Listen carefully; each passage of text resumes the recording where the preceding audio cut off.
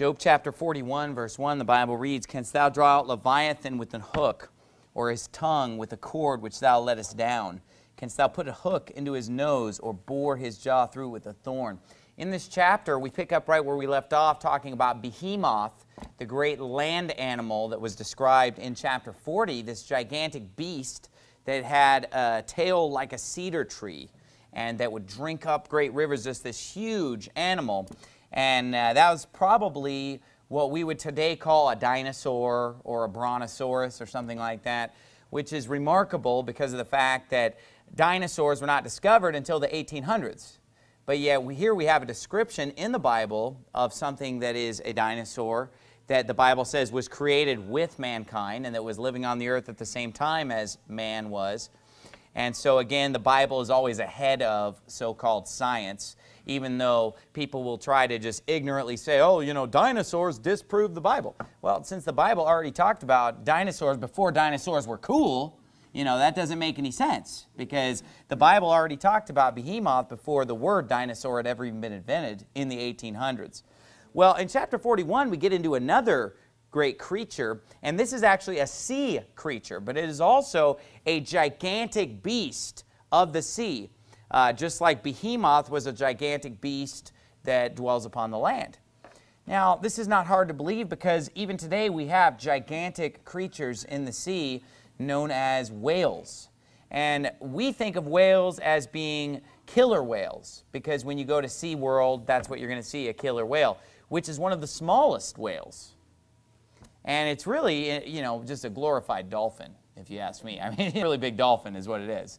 Because, you know, when you actually understand what a real whale is like, when you look at the blue whale and the sperm whale and the right whale, these gigantic creatures that are, you know, literally hundreds of feet long, okay? So that right there shows you, or well, over 100 feet long for sure. Uh, that right there shows you that it's not unbelievable that God would create creatures of gigantic proportions. But the difference between Leviathan and a whale is that Leviathan is actually called a sea serpent or a dragon. Those are the words that are used. Some kind of a reptile type of a creature. Uh, obviously, and you know, uh, he dwells in the sea, but there are, of course, reptiles that live in the sea, uh, different sea serpents and so forth. So that's what we see with Leviathan. Now, there are two things going on in this chapter. There is a physical interpretation because there is a literal animal known as Leviathan. This is not a mythical creature. This is a real animal. And the proof of that is that we've been learning about animals all the way since chapter 38.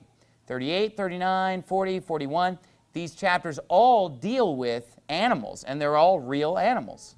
So it wouldn't really make any sense if Behemoth and Leviathan are different.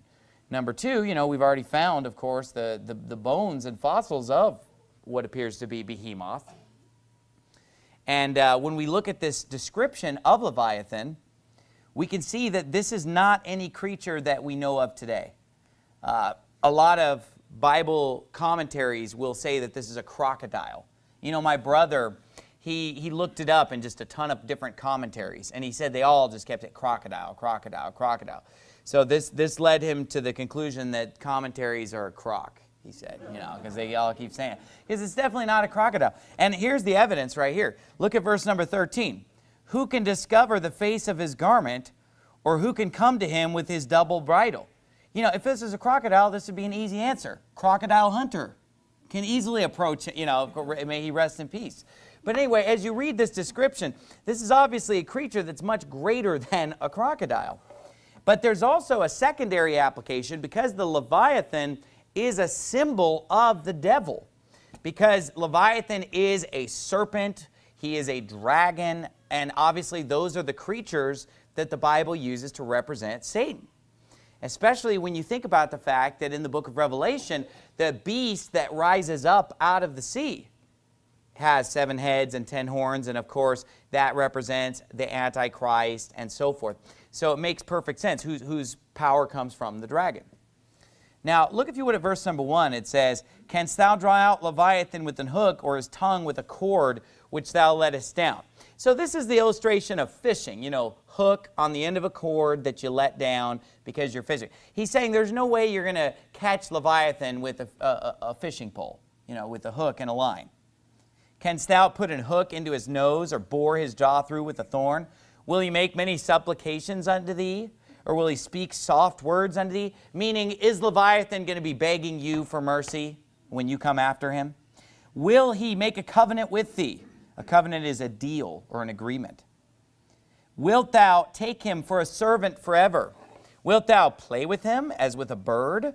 Or wilt thou bind him for thy maidens? He's saying, are you going to catch him and take him home and use him as a domesticated animal to serve you? Are you going to bring him home to play with your daughter as a pet? Your daughter can take him home as a pet. It says in verse 6, Shall the companions make a banquet of him? Shall they part him among the merchants? Uh, obviously, these are all things that are not going to happen. And he's saying uh, they wouldn't even be able to uh, catch him, kill him, and eat him. They're not going to make a banquet out of him. He, he's too fierce. He's too difficult to destroy.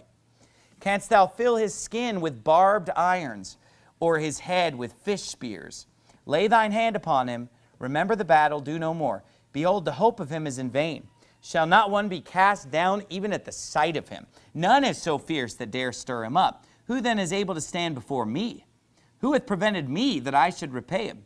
Whatsoever is under the whole heaven is mine. So he's saying Leviathan is so powerful and so great and so fearsome that no one would try to go up against Leviathan as a human being. It's just not happening, even with all the tools and weapons that they had.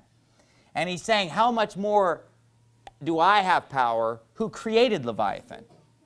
And how much more foolish it would be to try to fight against God or come up against God. He says in verse 12, I will not conceal his parts, nor his power, nor his comely proportion. Who can discover the face of his garment? Who can come to him with his double bridle? Who can open the doors of his face? His teeth are terrible round about. His scales are his pride, shut up together as with a close seal. One is so near to another that no air can come between. They are joined one to another. They stick together that they cannot be sundered. By, now, so, so far, the, the reason that we see this is not just simply a crocodile, is because many people have killed crocodiles, speared a crocodile, put hooks into a crocodile, eaten a crocodile. These are all things that could easily be done. But he says here in verse number 18, by his neesings a light doth shine. You say, what are neesings? Well, it's, it's basically a sneezing, but without the snot. You know, it's just air coming out. Sneezing, instead this is just a neezing. This is a dry sneeze. So it says, by his neesings a light doth shine, and his eyes are like the eyelids of the mornings. Out of his mouth go burning lamps, and sparks of fire leap out. Out of his nostrils goeth smoke, as out of a seething pot or cauldron. His breath kindleth coals, and a flame goeth out of his mouth. Now, again, God is basically telling us every which way. He doesn't just say it once. He says it about four different ways there, that basically this is a fire-breathing type dragon. Now you say, oh, come on, Pastor Anderson, is this a fairy tale? Is this a myth? Well, here's what you have to understand about myths and fairy tales. They're based in reality. Obviously, they contain a lot of things that are false and things that are fabulous, but they're usually based on some grain of truth. And it's interesting when you think about the fact that all cultures all over the world, they all talk about the fire-breathing dragon, even cultures that are very separate from one another. In Europe, they're talking about the fire-breathing. In China, you know, you have the, the serpent dragon that breathes fire.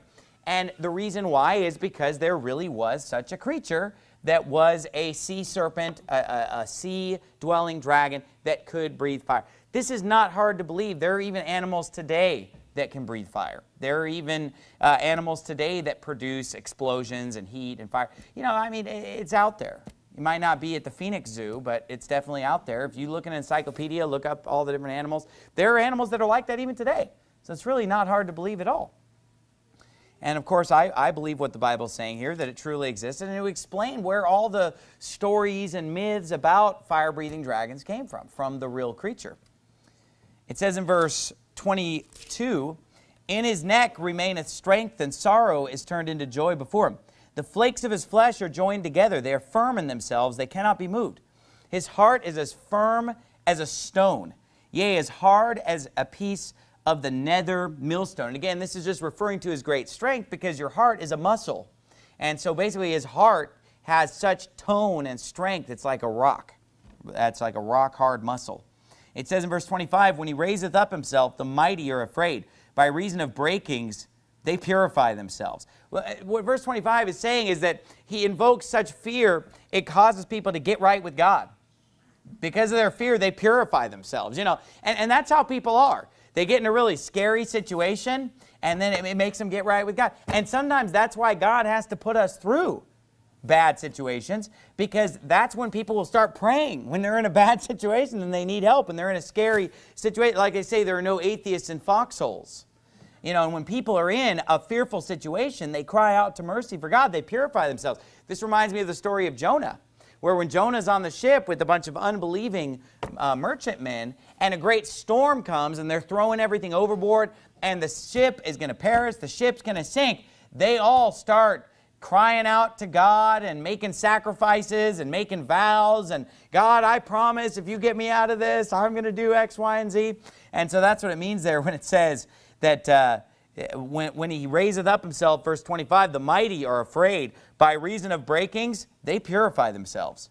Verse 26, the sword of him that layeth at him cannot hold the spear, the dart, nor the habergeon. He esteemeth iron as straw, and brass as rotten wood.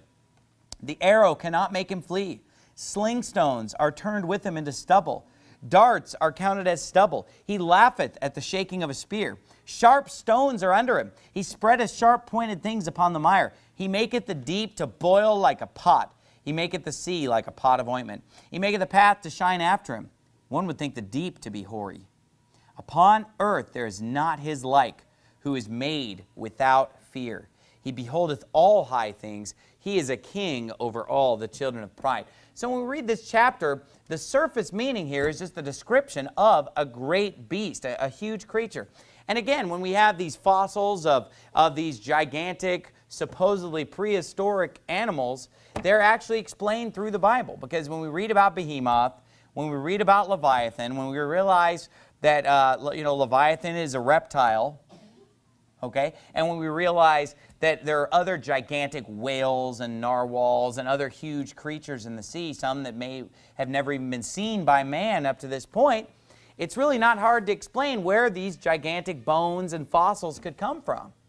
And you have to understand that when they talk about these dinosaurs uh, on TV, they'll make it out in a Hollywood movie like they're just sitting there and just uncovering complete skeletons of animals. You know, that's how Hollywood does it in Jurassic Park or whatever.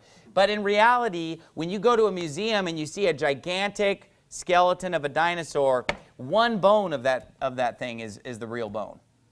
And the rest is all been manufactured based on, they'll find one bone and build the whole animal based on that one bone. So a lot of it's guesswork, a lot of it's just theory, a lot of it's just made up. But were there gigantic creatures in the past? Well, the Bible clearly describes them. So that's what we see just on the surface in chapter 41 here. But also, Leviathan represents Satan. Let me prove that to you. Go to Isaiah chapter 27. Isaiah chapter 27. Of course, we know that he is called the great serpent. He's called the great dragon. And so uh, this animal is something that represents Satan. Now, obviously, we have literal snakes today. A snake is a serpent. Uh, we have literal snakes. We just saw one a couple days ago, a puff adder apparently. And we saw this poisonous snake, and uh, obviously it's not the devil, it's just an animal, okay? But that animal represents the devil, okay? The dragon represents Satan. And obviously he took the form of a serpent in the Garden of Eden. And uh, just as sometimes our Lord Jesus Christ is related unto a lamb, the Lamb of God, or unto a lion, the lion of the tribe of Judah. These are just comparisons that are made with animals. Now look at chapter 26, verse 19. It says, Thy dead men shall live, together with my dead body shall they arise. Awake and sing, ye that dwell in dust. For thy dew is as the dew of herbs, and the earth shall cast out the dead. Now, this is a scripture about the resurrection of the dead. It's talking about all the dead bodies in the earth uh, arising and them that dwelling in the dust, along with Isaiah himself, his own body, will rise. And uh, this is talking about what we would call the resurrection that's going to happen at the rapture. You know, when Christ returns and the trumpet sounds, and uh, the dead in Christ shall rise first. Then we which are alive and remain shall be caught up together with them in the clouds to meet the Lord in the air. So shall we ever be with the Lord. Wherefore, comfort one another with these words. This passage is referring to that exact same event. Because first we have the dead being resurrected in verse 19. But then look at verse 20. It says, Come, my people, enter thou into thy chambers, and shut thy doors about thee. Hide thyself, as it were, for a little moment, until the indignation be overpast. For behold, the Lord cometh out of his place to punish the inhabitants of the earth for their iniquity. The earth also shall disclose her blood, and shall no more cover her slain. Now, a lot of people will try to point to this as being proof of a pre-tribulation rapture. And they say, see right there, you know, this is the proof of a pre-tribulation rapture. Now here's the thing. Number one, when I have a crystal clear passage in the book of Matthew, Mark, Luke, 1st and 2nd Thessalonians, I'm not going to go back to the book of Isaiah to try to contradict that because the New Testament should always be our primary source for doctrine. New Testament, primary source. Old Testament is a supporting document. But the, it, it, something as important as the second coming of Christ is going to be clearly taught in the New Testament. The reason you have to be careful with Old Testament passages is because a lot of times Old Testament passages are talking about immediate events and mixing those with future events like the first coming of Christ or the second coming of Christ, sometimes talking about both of them in the same breath. But honestly, this passage actually is a great passage on end times prophecy, and it actually matches up perfectly with what is taught in Matthew, because this does not teach a pre-trib rapture whatsoever. First of all, it, you know, this is a big, clear scripture on the pre-trib, right? Okay, where does it say tribulation? Yeah, it doesn't. Here's what it says. Come, my people, enter thou into thy chambers, and shut thy doors about thee. Hide thyself, it were, for a little moment, until the what? Indignation be overpassed. Now, that doesn't say until the tribulation is over. It says until the indignation be passed. For behold, the Lord cometh out of his place to punish the inhabitants of the earth. So what does indignation mean? Somebody just tell me just, what does indignation mean? Anger, Anger wrath. That's what indignation means. So this isn't a pre-trib rapture, this is a pre-wrath rapture being taught here. That's what it says.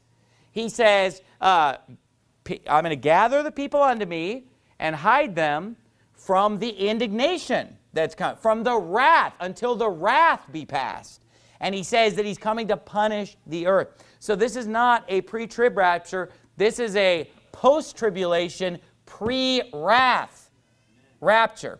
Now, people say, well, the tribulation is God's wrath. Now, nothing could be easier to disprove than the idea that the tribulation is God's wrath. That's pretty much the easiest thing to demonstrate. And the way that I would demonstrate that, and we won't turn there for sake of time because most of you probably already know these scriptures, but in Matthew 24, the Bible clearly says immediately after the tribulation of those days, the sun shall be darkened, the moon shall not give her light. So in Matthew 24, the Bible is clear that the darkening of the sun and moon and the stars falling from heaven is going to take place after the tribulation.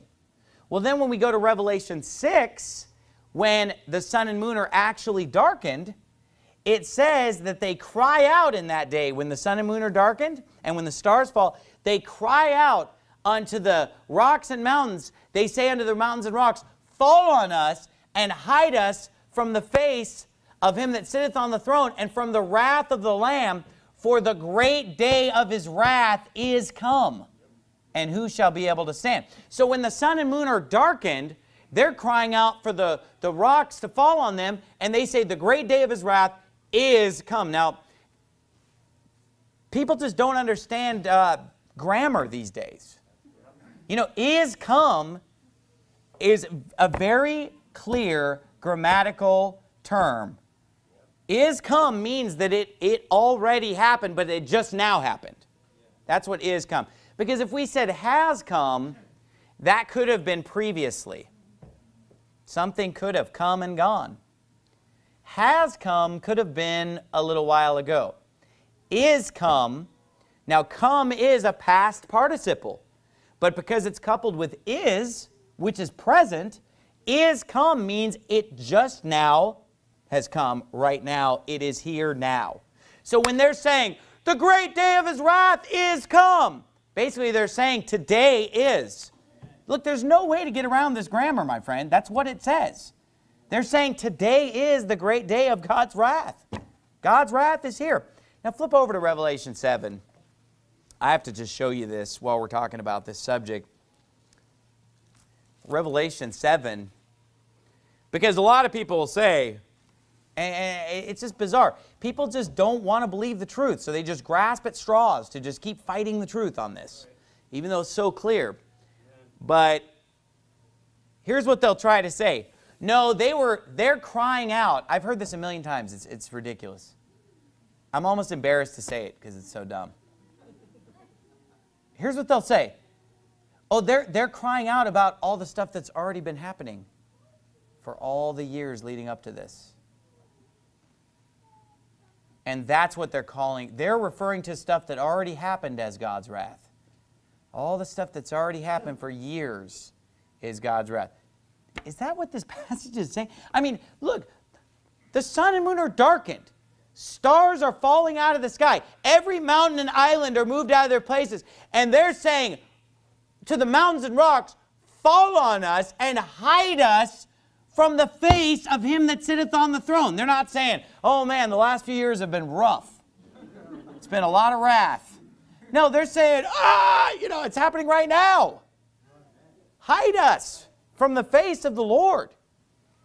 For the great day of his wrath is come this is the great day of his wrath. We need to get under something. We need to hide under the rocks and mountains to be able to survive and just to be able to not have to look at the face of him that said, we don't even want to see him. We don't want him to see us.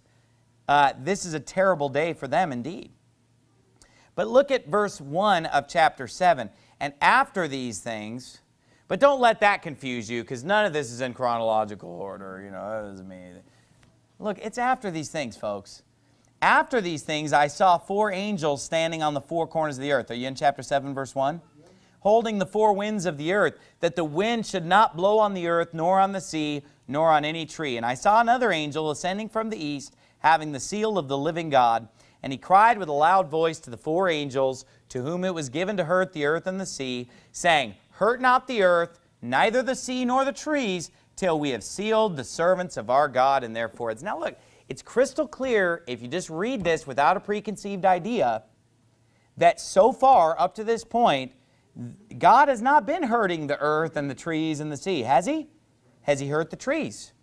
Has he hurt the earth? Has he hurt the sea? No, he said, wait, hold it. You know, so far, all he's done is just sun and moon darkened, uh, stars falling, earthquake, mountains and he's about to really start harming the earth, trees, and seas, but it hasn't happened yet. It's just about to happen. We're right at that juncture between the sixth and seventh seal here. Now, if you look at the events leading up to this, the first five seals, they're not God's wrath. Clearly. And it's not anything of turning the sea into blood, burning up all the trees. That's all going to happen starting in chapter 8. In chapter 8, what's going to happen? All the grass is going to be burned up. All the tree, you know, one third of the trees are going to be burned up. Uh, the, the sea is going to be turned into blood and all these things. So to sit there and say that that stuff has already been happening because it's all out of order, it's all out of order and that stuff's already all been happening, it just doesn't make any sense, folks. The trumpets come after the seals. That's pretty clear, okay? And clearly, uh, God's wrath does not begin until the opening of the sixth seal. And according to Matthew, that's after the tribulation. See, the Bible never calls anything. In fact, chapter 7 of Revelation is the last time the word tribulation is ever used in the whole Bible. And in Revelation 7, this great multitude appears, and he says, These people came out of great tribulation. So the, basically, chapter 7 is the last time we see tribulation. He says, Yep, these people came out of tribulation. Yep, tribulation. Look, because the tribulation is before God's wrath even begins to be poured out. Because the tribulation has nothing to do with God's wrath. And let me just break it down to you in a very simple way. Here's the tribulation. Here's the sun and moon being darkened after the tribulation. Here's God's wrath after the sun and moon are darkened. Tribulation and wrath can't be the same thing because they're on different sides of the sun and moon being darkened. One comes before, one comes after. It's, it's, it's impossible to reconcile this if you believe in a pre-trib rapture. It just doesn't make sense what they're saying. Because they're saying, well, the tribulation is God's wrath. Okay, the first seal. A guy goes on a white horse, conquering and to conquer. How is that God's wrath? Okay, the second seal basically is to take peace from the earth and that they should kill one another. How is that God's wrath? People are killing one another right now on the earth. It's just going to escalate in the end time into world warfare with the opening of the second seal. In the third seal, you have basically famine taking place and great food price increase. That's not God pouring out his wrath in a supernatural way. That's probably a result of all that warfare. That's a result of other factors that you know will be described in another sermon. Uh, the fourth seal has to do with uh, people being killed with sword, with hunger, with death, with the beasts of the earth. I mean, these are just people dying of pestilence, uh, famine, warfare, same thing. And then the fifth seal is a bunch of people being martyred for Jesus Christ. How is that God's wrath? I don't understand how somebody can say, oh, people being killed for Christ, that's God's wrath. How, that, that's not God's wrath. So if you look at it, it's not God who is pouring out his wrath in the first five seals. What it is, is the devil and wicked people causing all kinds of problems on the earth and strife and, and, and wars. And, and we, you know, the, the man on the white horse that goes forth conquering is the Antichrist. You know, so we see the Antichrist rising to power. We see warfare. We see famines. That stuff's not of the Lord. That stuff is just things that must come to pass. You know, but the end is not yet. Those things happen. Then with the sixth seal is the first time we see God really step in in a supernatural way, darken the sun and moon, stars falling, which I believe is meteor shower, like a shooting star. And then, of course, with the trumpets, he's going to start burning up trees and turning the water into blood. Real plagues from God. Okay, so this idea that the tribulation is God's wrath is a total fallacy, it's a total fraud, and the pre-trib rapture is found nowhere in Scripture. I can point you to a clear Scripture that says after the tribulation. There's no Scripture that says before the tribulation. It just isn't there. Just look up every time tribulation is mentioned. There's no before the tribulation. You're never going to find it. So uh, back, back, if you would, to uh, where, where did I have you? Uh, Isaiah 27, Isaiah chapter 27. So in Isaiah 27, we clearly don't have a pre-trib rapture, nothing even close to it. We have a pre-indignation rapture, a pre-wrath rapture, which we already believe in as, uh, as those who are post-trib, pre-wrath. So it's, it's pretty clear. And again, I would never use an Old Testament passage to try to confound a New Testament passage. Anything in the New Testament, now, now look, I don't believe the Bible contradicts itself. You know, whenever we seem to have a contradiction, it's a mistake in our understanding. We're understanding it wrong. But here's the thing, it's a lot easier to misunderstand the Old Testament than the New Testament because the New Testament is clearer than the Old Testament. And I don't know why, it's, it's funny when people argue with that. I don't understand that. Everybody knows that the New Testament's clearer than the Old Testament. I mean, when you talk to a new believer, usually you get them started reading the New Testament. It's easier. It's clearer. In fact, if you look at the prophecy in the New Testament, it's called Revelation. That sounds pretty clear. As opposed to a lot of the Old Testament prophets are very cryptic and they are described as dark sayings. Very difficult. And the reason why you can become confused with the Old Testament too is because it was so long ago and so many things have happened between now and then. A lot of stuff that people are still looking for to be fulfilled in the Old Testament has already happened. Or they'll take verses about the first coming of Christ and try to apply it to the second coming. Or they'll try to take verses about the Israelites coming back from the Babylonian captivity and apply that to the 20th century. You know, people will say, what do you think about this psalm where, you know, all these nations are gathered against Israel? Like that happened in King David's day. You know, that's already, already happened. So it's a lot easier for people to twist the Old Testament. It's a lot harder to twist the New Testament. That's why when somebody's just completely parked in the Old Testament, that's a sign of false teaching. When they can't back things up with a lot of New Testament scripture, but they're just parked in the Old Testament, living in the Old Testament, that's a bad sign because it should be able to be taught from the New Testament also and verified with the Old Testament. Now, this scripture is a great end time scripture and it matches up perfectly with what's taught in the New Testament. But let's start with what's taught in the New Testament, then let's approach this scripture with the clear understanding from the book of Revelation. I mean, just think about that name Revelation reveal. It's all revealed. It's all laid bare. It's all open and exposed, right? That's going to be easy to understand compared to some stuff in the Old Testament. So now let's just quickly read it again. It says in verse 19 of chapter 26, Thy dead men shall live, together with my dead body shall they arise. Awake and sing, ye that dwell in dust. For thy dew is as the dew of herbs, and the earth shall cast out the dead. Come, my people, enter thou into thy chambers, and shut thy doors about thee. Hide thyself, as it were, for a little moment, until the indignation be overpast. For behold, the Lord cometh out of his place to punish the inhabitants of the earth for their iniquity. The earth also shall disclose her blood and shall no more cover her slain. Perfect harmony with what's taught in Matthew and the book of Revelation. Now look at chapter 27, verse 1. In that day, the Lord with his sore and great and strong sword shall punish Leviathan, the piercing serpent, even Leviathan, that crooked serpent, and he shall slay the dragon that is in the sea. Now, this is a reference to the devil. When it talks about him slaying Leviathan, punishing the great serpent, it's referring to Satan. Because if you look at Revelation chapter 19, you don't have to turn there, but in Revelation 19, we see that uh, Jesus Christ comes on a white horse, and he has a sword proceeding out of his mouth, right? And he lays hold, uh, he, he destroys the beast and the false prophet and all the armies of the Antichrist. And then if you remember, an angel comes down and lays hold on the dragon and casts him into the bottomless pit. Okay. So we see here that this is a prophecy of the fact that God's going to defeat Satan at that time.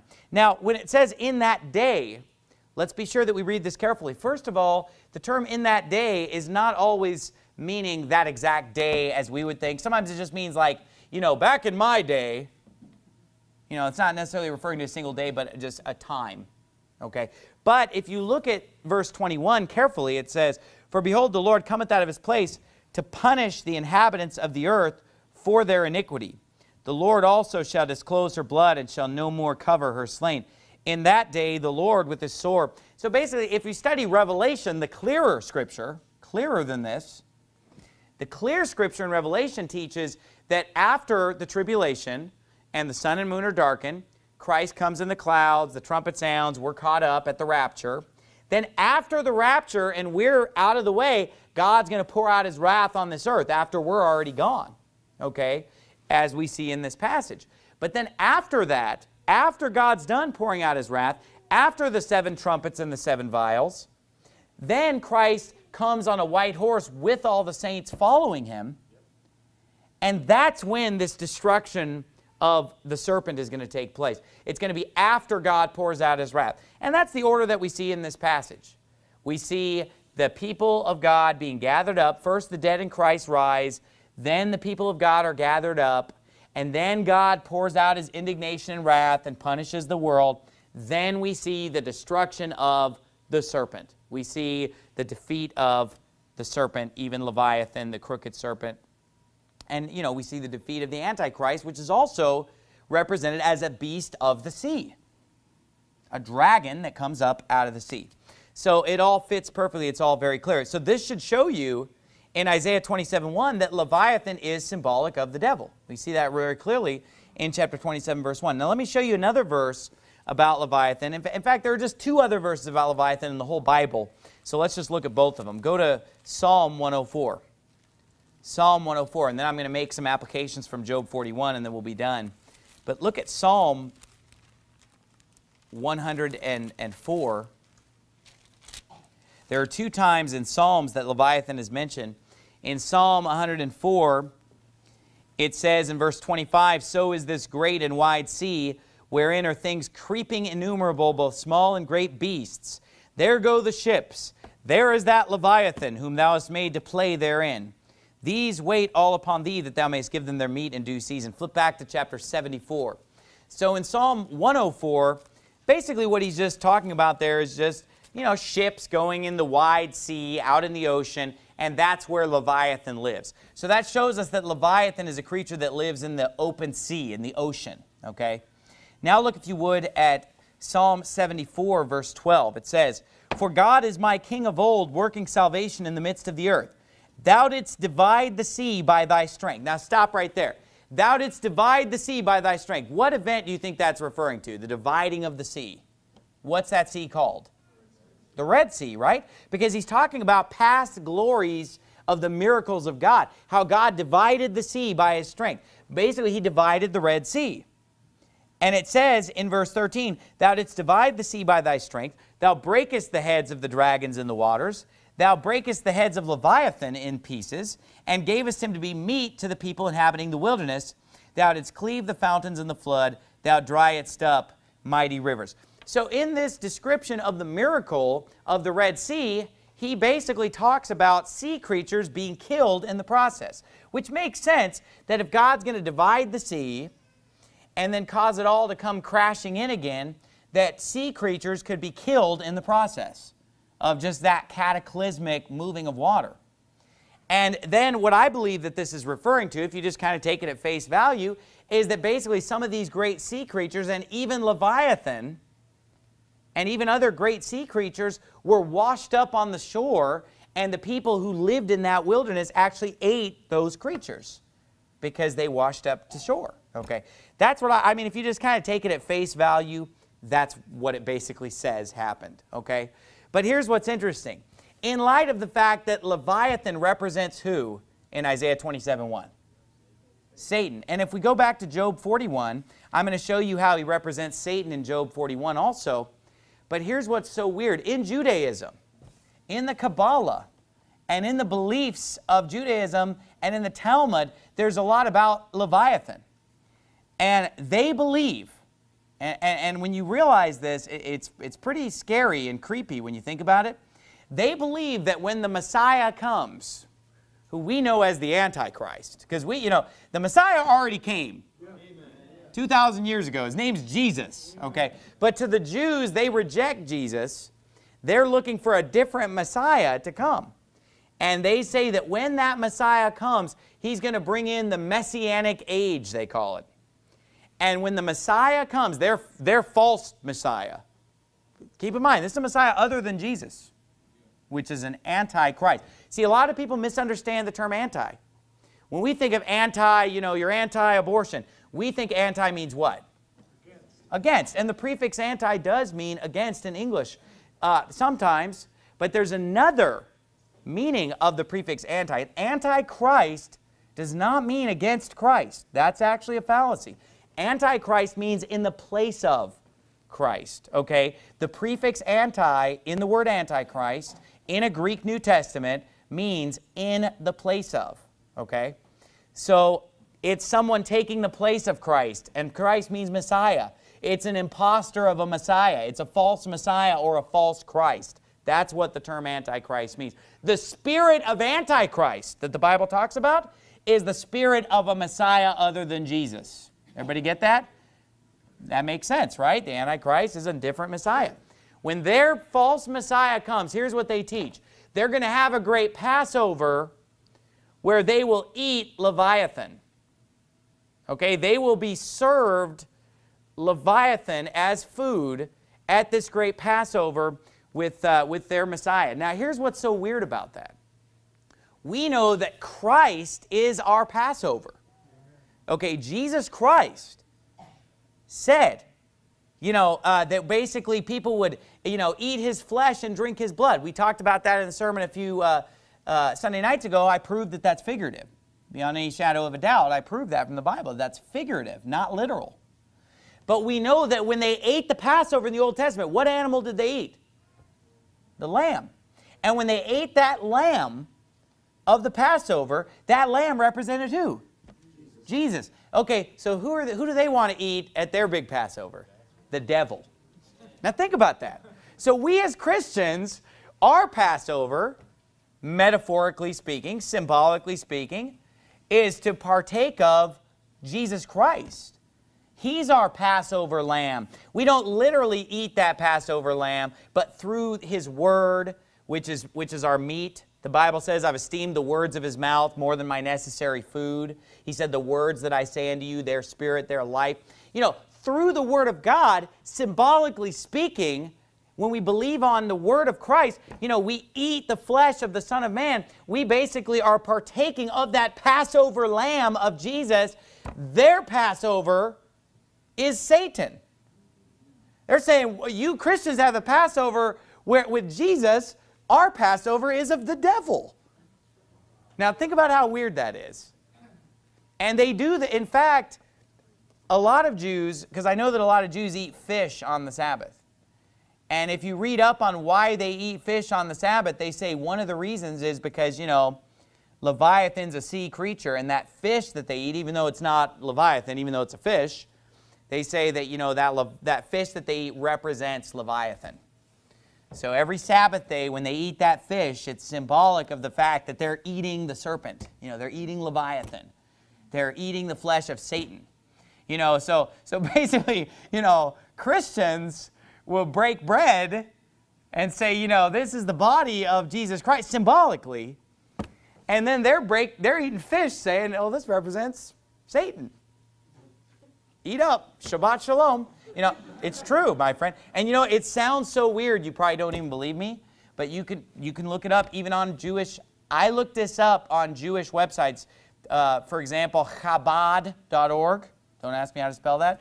But, you know, but which is, you know, their website where they're explaining their beliefs and explaining the Kabbalah. This isn't an anti-Jewish thing. This is just what the, in fact, I even, I even pulled it up on my phone from their website. I'll just read it to you just so that you know that I'm not just making things up here.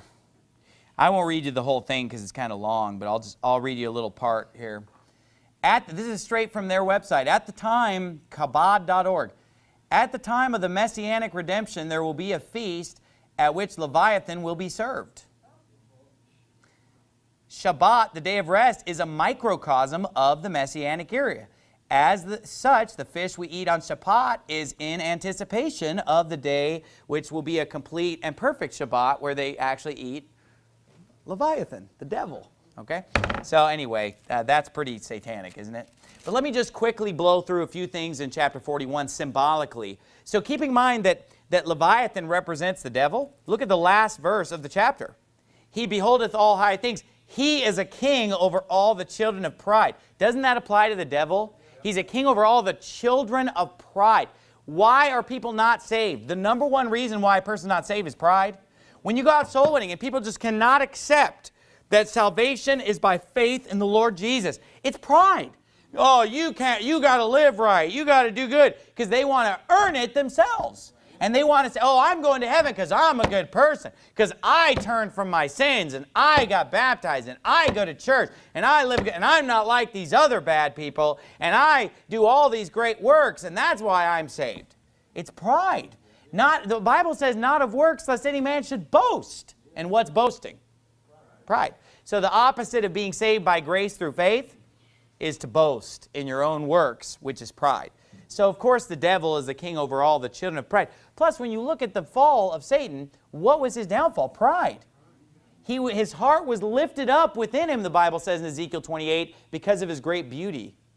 And he said, I will be like the Most High. I will ascend above the sides of the north. I'll uh, exalt my throne above the stars of heaven, and so forth. So he truly is a king over all the children of pride. But look at the beginning of the chapter. It says, Canst thou draw out Leviathan with a hook, or his tongue with a cord which thou lettest down? Canst thou put an hook into his nose? Or bore his jaw through with a thorn? Will he make supplications unto thee? Will he make soft words unto thee? Will he make a covenant with thee? wilt thou take him for a servant forever. Now, in verse 4 there, when you think about, you know, making a covenant, you, talk, you think of people who make a deal with the devil, right? Isn't that a kind of a common theme you hear about? You know, making a deal with the devil. And that comes from where the devil tried to make a deal with Jesus and say, you know, all these things will I give thee if thou wilt fall down and worship me. And of course, Jesus did not give in to that temptation, but that offer was made. And so what it's saying here is, you know, is he going to make a covenant with you? Wilt thou take him for a servant forever? Wilt thou play with him as with a bird? Here's what I think is being taught here on the symbolic underlying meaning is don't play with the devil. Don't try to use the power of Satan and think that you're going to take Satan to be your servant, make some kind of an agreement with him, play with him. And there are people today who play with this kind. They play with sorcery. They play with witchcraft. They play with a Ouija board. They play with seances and these kind of Look, I know people personally who've played with this kind of stuff. I mean, it's common. They sell the Ouija board at Walmart between Monopoly and Parcheesi. It's by Milton Bradley. Ooh, the classic game. It's not a game. It's witchcraft. It's sorcery. It's necromancy. And so the Bible's sending us a strong message here that we shouldn't try to play around with the occult, sorcery, the devil, Satan, or think that somehow Satan is going to serve us. You know, if Satan ever made an agreement with you, it's going to be for his benefit. And he's a lot smarter than you. He's going to rip you up. It's like, you know, every episode, look, here's how I know this is true. Because every episode of The Twilight Zone where somebody made a deal with the devil, it always worked out really bad for him. I mean, there you go. And Case closed. Case closed. Every episode. They all, you know, they thought they were real smart, make a deal with the devil. You know, they always ended up getting burned. No pun intended. So I think that's what God's saying here. You know, don't play with Satan. Don't play with witchcraft and the power. Because there are the powers of darkness in this world. And you know, the devil can elevate people into high places. Politicians, all of them, for example. But anyway, uh, keep reading. It says, you know, wilt thou bind him for thy maidens? Shall the companions make a banquet of him? Shall they part him among the merchants? Canst thou fill his skin with barbed irons, or his head with fish spears? Lay thine hand upon him, remember the battle, do no more. Behold, the hope of him is in vain. Shall not one be cast down, even at the sight of him? None is so fierce that dare stir him up. Who then is able to stand before me? When we think about the mighty power of Leviathan, that should remind us of the mighty power of the devil. Now, of course, the devil's power is nothing compared to the Lord's power. And the Bible makes that clear in this passage. But the devil does have great power. And we need to be careful that we do not underestimate his power and think that we can just do battle with Satan. You know, the Bible talks about the fact that even Michael the archangel, who is much greater in power than we are, when contending with the devil, he disputed about the body of Moses, durst not bring against him a railing accusation, but said, The Lord rebuke thee. Okay, and then we, we find a story similar to that in Zechariah chapter 3 as well. So we have to understand that the devil has great power. We need to have the shield of faith wherewith we be, shall be able to quench all the fiery darts of Satan. But we should not bring a railing accusation against the devil. Okay, what does it mean to bring a railing accusation? You'll hear a lot of people in the charismatic movement that will talk to the devil and, and, and they'll, they'll, they'll yell at the devil and tell him he's a loser and tell him he's weak and tell him he's nothing. You know, that's not something that the Bible ever teaches that we should do. Because we shouldn't even try to face off with the devil. You know, the Bible says resist the devil and he'll flee from you. Okay? The Bible says take the shield of faith, you'll be able to quench all the fiery darts of the wicked. But the Bible never tells us to go after the devil and start talking. Or, or, for example, a railing accusation is when we make often a false accusation. Like, for example, I was in a service one time, and they were trying to play some CD in a service, and the CD started skipping. And they said, you know, the devil doesn't want you to hear that CD. That's why that CD is skipping right now. No, it's skipping right now because you dropped it, because it's all because you scratched it up or put fingerprints all over it. You know what I mean, though? But just this idea of just we just always oh the devil did that. I, you know what? I don't go around saying that. At least I really try not to say when bad things happen. Oh, that's the devil. Oh, that's the devil. You know, a lot of bad things just happen. It has nothing to do with the devil. Think about it. You know, first of all, it could be God.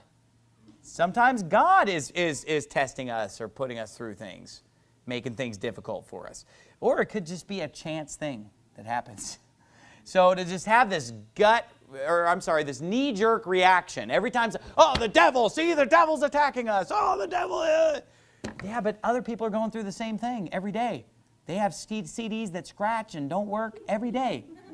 I mean, there aren't that many demons to make every CD skip on the planet. Okay? So I think we need to be careful of two things, you know, when it comes to that. Number one, not to just accuse the devil of doing things that we don't really know that the devil's involved. It's better to just not speak of things that we don't really understand, things that are kind of out of our realm. We should kind of just worry about the realm that we're in worry about obeying the commands of God, not just speculating. Well, I'll bet, you know, the devil is the one who caused, you know, so and so to go out on my car. The thermostat went out on my car. It's the devil that did that. You know, no, it's because you're driving a Ford. Then the thermostat went out. And every Ford I've ever driven, the thermostat went out. In my Tempo, in my Escort, and you know, I had like three Fords where the thermostat went out. So, you know, I'm not going to blame the devil on that. And then I think the other thing is, too, that even if you know, we do have an accusation against the devil. We shouldn't get all puffed up and high minded. Like there was a famous preacher, I, I think he was more of a, a, circus performer, but a famous preacher called Billy Sunday. He was, a, he was one of these guys that really fought for women's rights. And so if you want to blame somebody for giving women the right to vote, what an idiot. Gave the, uh, well, it's getting kind of quiet in here. But anyway, you know, giving women the right to vote and, uh, you know, fighting for all this women's rights and women's liberation. It was Billy Sunday, everybody's favorite fundamental preacher. And not only that, but he was a big uh, proponent of prohibition of alcohol, which frankly I don't believe in. Now, I'm against drinking. I think it's a sin, but making alcohol illegal is a, it was a bad idea, and it's not a biblical concept. It was not illegal in Israel. It's sin, but it was not illegal. Uh, making alcohol illegal, bad idea okay? Uh, prohibition of alcohol, bad idea. Giving women the right to vote, bad idea, okay? Women's rights, feminist movement, taking women out of the home, putting them in the work, bad idea, okay? Bad idea. That, I'm sorry, that's a whole other sermon in of itself. But this guy, Billy Sunday, he was one of these really like flamboyant preachers who's just kind of putting on a show and he would dance around the platform and shadow box and challenge the devil to come fight with him. Come on, devil, you know, do a few rounds with Billy. But here's the thing that's not scriptural. You know, that's a violation of Scripture. Okay? And, you know, you, you're no match for the devil to just take him on. Amen. You know, let God deal with that. Because you, you know, you just need to resist him just have the shield of faith, you know, but you, you, you can't just take on, you're just going to take on Leviathan. You're going to be consumed. You know what I mean? So this is what the Bible teaches. And then obviously we shouldn't play with the powers of darkness and, and Satan in this world. Let's bow our heads and have a word of prayer. Father, we thank you so much for your word, Lord, and we thank you for uh, this great chapter that, that teaches us about this, this creature, Lord, that probably no longer exists but this great animal that you created, uh, Leviathan, along with Behemoth and other extinct animals, Lord. And uh, thank you for the things that we can learn about uh, the devil, just a warning that we should be careful because we know that the devil does have great wisdom and great power, Lord. Help us never to be deceived by him, Lord. Protect us from him and help us to uh, stay on the right path in our lives. In Jesus' name we pray, amen.